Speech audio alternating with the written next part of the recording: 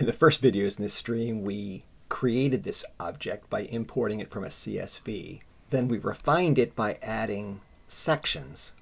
With this video, we want to do is to edit some of the specific fields. And a good one to look at, significance description, the significance of the change. And if we look back out and we look at significance, there's a, a significance description here that we can say we want to do is to make sure that we're capturing this information. So I'm going to go ahead and highlight it. So I'm going to select and copy this description. Then I can come back and what I'm doing is going out to, let's see, let me just do it for you. So edit object. And if we edit the object, we come to here. We're brought to the object manager for outcome harvesting. We're going to go into fields and relationships. We're going to look at significance description. Currently, this is a 255 character text field. So I'm going to open it up. And there are things here that we can change. First thing I'm going to do is add that help text that we just copied out. I'm going to say that. Could add a description here. Can actually add the same information. Doesn't really hurt. Now we could say here is there's information around who we would want to own this data. We can talk about field usage. This is a little bit complicated, so for now let's not worry too much about it except to know that there are ways to be able to manage fields to highlight them after you, if you review them. Uh, data sensitivity, same kind of issues. There's ways of being able to manage how private this information is, which could be very relevant from an outcome harvesting perspective, and whether or not there's compliance uh, or needs to be compliance. Uh, we can also mark it as required.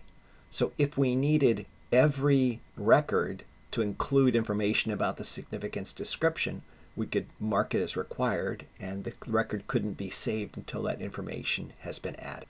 We can also change the text length. So let's say we want to make this 400 characters. So I'm going to say, let's save this.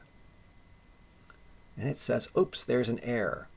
You can only save it to 255.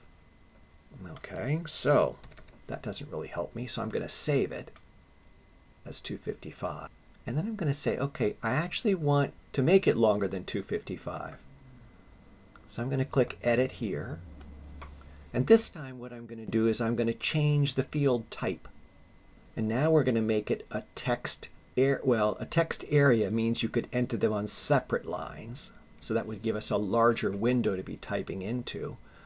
So what I need to do is to add a long text area field. And so I'm going to say next and it says I'm using 0 of 1638 characters. So I'm going to just say 400.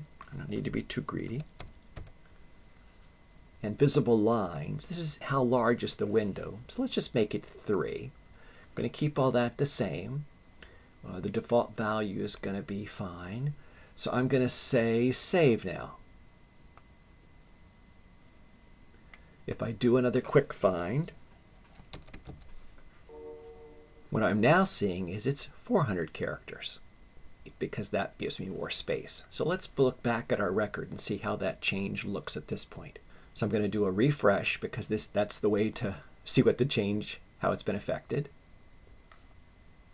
Scrolling down, I can see we now have an information field here, and it is that same text that we put in, which is why is this change important? What you can also see up here, I added one. You could see we could, this is over 150 characters. These can be quite long in terms of the summary and support information. So now when I enter it, and I'm going to go in here and say, let's enter here, I have three lines of text.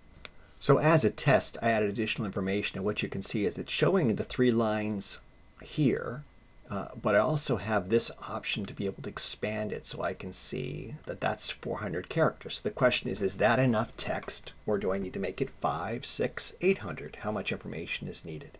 But that allows me the chance to do that. Clicking Save. The good news about the sections is that we can close sections.